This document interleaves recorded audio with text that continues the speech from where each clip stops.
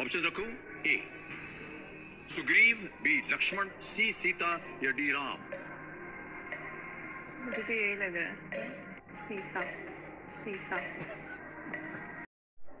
Simple cuboidal epithelium. को याद करने की जो ट्रिक है वो है Sita.